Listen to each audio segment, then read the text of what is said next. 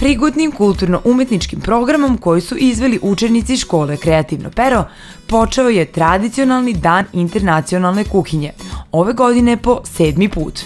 Oko kazahstanske trpeze okupila su se deca, roditelji, ali i veliki broj kazahstanskih državljana koji žive i rade u Beogradu. Kada je dan internacionalne kuhinje i kada je aukcija uskršnjih jaja, puno toga se spoji što jeste za decu važno iz različitih uglova i različitih aspekata.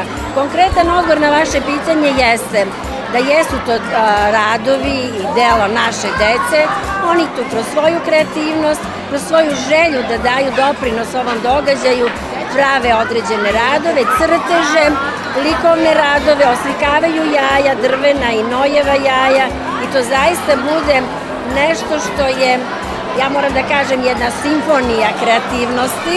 Ja sam nacrtao dva, tri jaja i mislim, je, par, dva su bila e, u jednoj boji, jedna bojina, ovaj, nešto sam crtala. Ove godine iste večeri obeležen je i predstojeći praznik Uskrs, tradicionalnom uskršnjom aukcijom. Celokupna aktivnost bila je humanitarnog karaktera, a prikupljeni novac biće doniran domu za stara lica Surdulica. Dopada mi se što je svake godine ovaj dan posvećen takođe dobročinstvu i da se uvek, e, dakle, prihod od tih humori, e, oslikanih jaja dodeljuje nekoj ustanovi e, ove godine domu starih. A, znači, nastavljamo tradiciju koju se mi bavimo već ženski deo porodice, već puni 35 godina.